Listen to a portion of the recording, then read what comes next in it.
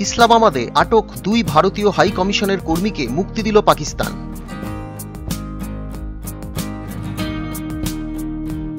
প্রধানমন্ত্রীর সঙ্গে মুখ্যমন্ত্রীদের করোনা বৈঠকে বলার সুযোগ দেওয়া হলো না বাংলাকে।